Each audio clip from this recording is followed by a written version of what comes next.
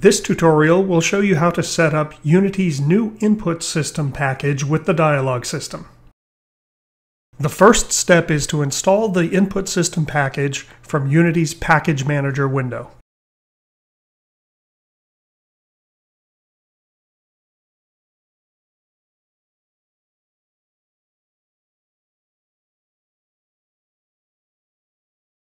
If you imported the dialog system's assembly definition files, you'll need to edit those assembly definitions and add references to the input system assembly.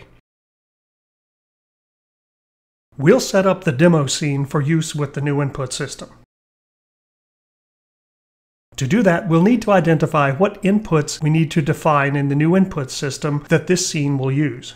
Our simple controller script uses a horizontal and vertical axis and an input called Fire1. The dialog system's input system integration will automatically handle mouse X and mouse Y. It will also handle most key codes. Notice on the selector component that the use key is set to space. If you want to use a standard key, you can set the use key and you don't have to set a use button. But you're also free to define an input system action and assign it to the use button. The next step is to go to the Dialogue System's Welcome window and tick the New Input System checkbox.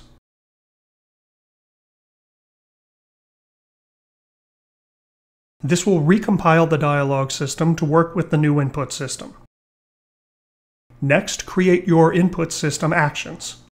The dialog system ships with some example actions for the demo, so to save time we'll just use those instead of recreating them. The key when integrating with the dialog system is to tick Generate C-sharp class in the inspector. This will automatically generate a C-sharp script that the integration will use. With that done, there are just two steps left. Inspect the scene's event system and convert it to use the new input system. Finally, you'll need to create a C-sharp script that registers your input system actions with the dialog system. This tells the dialog system how to access input system actions.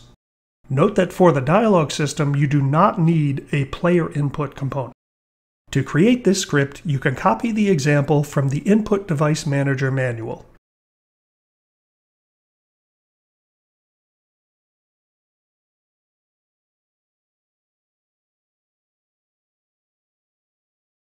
The dialog system also ships with an example script for the demo.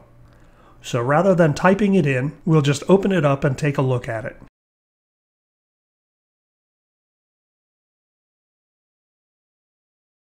It's based off of the example in the Input Device Manager manual, and the key method is input device manager register input action.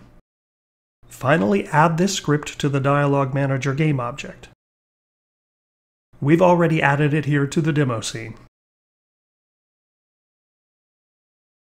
If you've customized the Input Device Manager component, you can review that also for any input actions that you might need to define and register.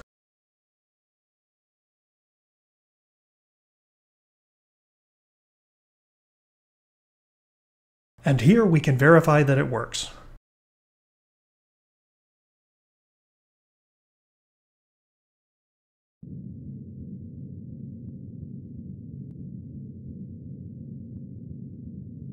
We need to intercept the launch codes before the enemy launches their weapon at our home world.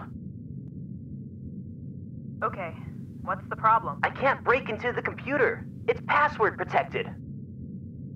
I'll find the password. The dialog system ships with a handy component called UI button key trigger that you can use to map hotkeys to UI buttons. For example, say you want to map a hotkey to your Dialog UI's Continue button.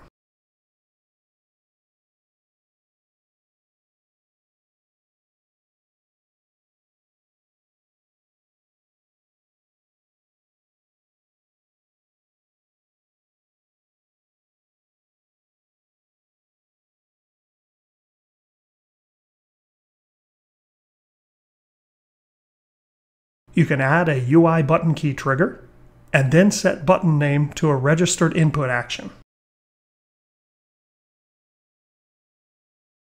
And that's it for the Dialogue System's input system integration.